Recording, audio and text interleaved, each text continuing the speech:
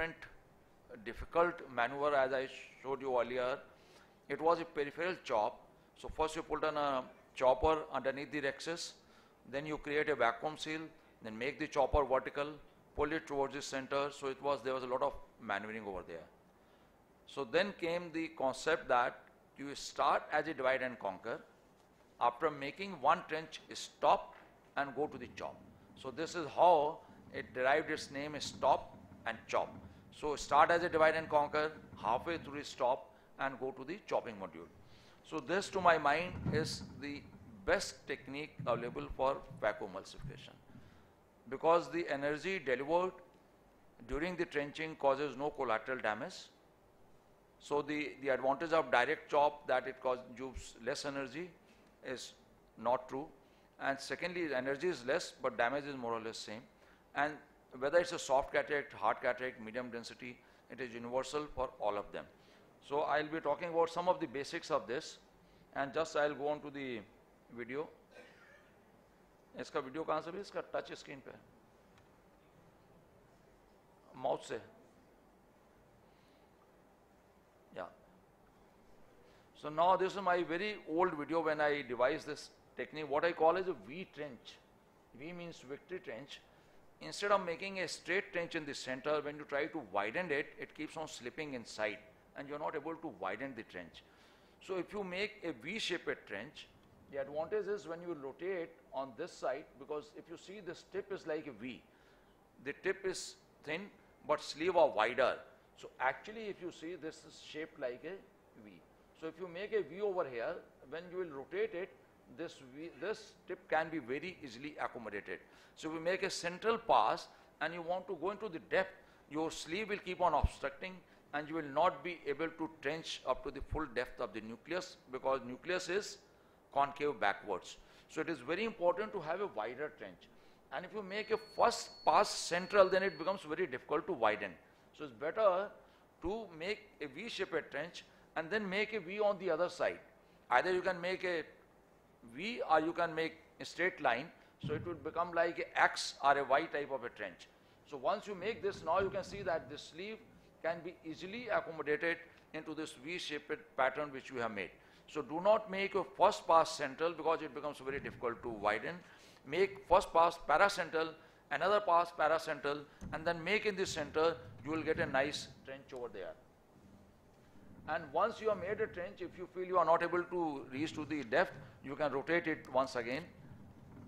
And we will have to keep in mind that ultimately we need to have a much more central depth of the trench than at the periphery. Now you can see that once I go there, you can see a little bit of reflex coming there, becoming black over here. That means you already reached to the depth on this side. So we don't have to, I am widening on this side. Take your time. And usually uh, when we make a trench, the, uh, the phaco settings will depend upon the type of the crystals you have. Two crystal probe, four crystal probe, six crystal probe. But if you got a two crystal probe, then the phaco setting in this type of a nucleus will be approximately 70% or so. So now you will watch that might, when I make a trench, I do not go up to the periphery.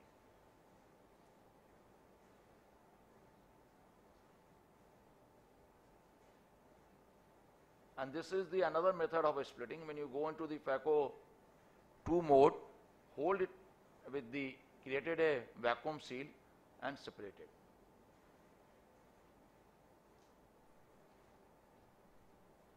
Very important when you want to split anything, like if you see in this diagram, if these two hands are far apart, you need more space to split. But if these two hands are kept closer to each other, you need very little space to split. And the space is a constraint in the eye. That means whatever fibers you want to split, the two instruments should be closer to each other.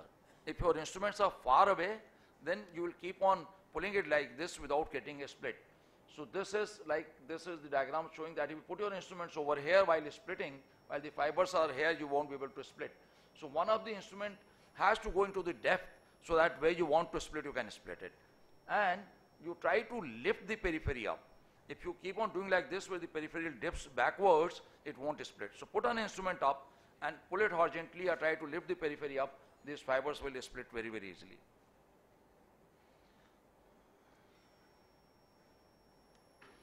So now what this is, how we nudge it first, bury with the phaco energy, come to the phaco mode 2 and close to the tip.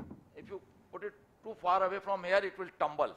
If you put too far away over there, it will create a crack. So just close to the tip, this area, you bury your chopper deep towards the optic nerve head and then move sideways. And once you bring this nucleus out of it, make an a conscious effort to keep it away from the cornea. Take that, hold it, take it slightly back and rest your probe onto the sclera. If you try to lift it up, you will see the wound burn because the fluid will stop going. So most of the beginners, they lift it like this. So try to rest your hand onto the eyeball, you won't cause the wound burn. So rest it down. Now you split it. Now reposition your chopper, reposition your chopper and reposition your chopper.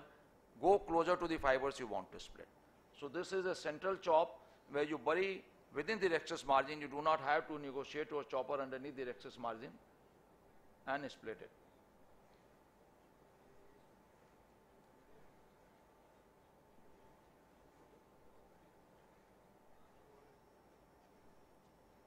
Your direct chop is ready, Dr. Ashok Shah?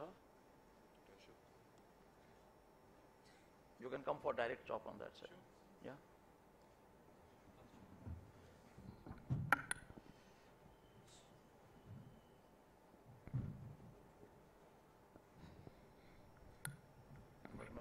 So, Just, just a minute, yeah. Get his, get his video for direct chop ready. yeah. So again, you see that, no, no, just a minute, yeah. You nudge it. Now, what I call as a modified peripheral chop peripheral chop is far more stronger and cracks in one.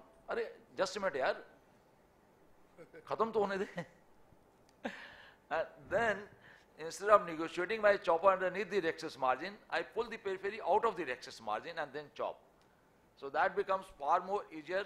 So once your first half of the nucleus is gone second half of the nucleus is very easy to collapse into the center and bring out the instead of putting your chopper underneath the rhexis margin you bring the periphery of the nucleus out of the rhexis and then chop it over there. And very important when you are about to remove the last piece, you can lower your parameters or put on a viscoelastic inside the eye. Because when, as long as the some of the material is in the capsular fornices, posterior capsule will not come forward. But once your all the pieces are out of the capsular fornix, then there are chances of the posterior capsule coming into your tip. So when you are about to remove the last piece without epinucleus in a harder cataract where the capsule is much more floppy, either lower the parameter or put on a methylcellulose from the side port so that the last uh, PC will not come. And the, when you are doing a phaco aspiration, phaco energy is required is 30-40% less than what you need for trenching. So if you are kept say phaco at 70, then when you are doing a phaco aspiration, probably you need 30-40, depending upon the type of the machine. But phaco energy required for this is much less as compared to the trenching. And be very careful when you are removing the last piece.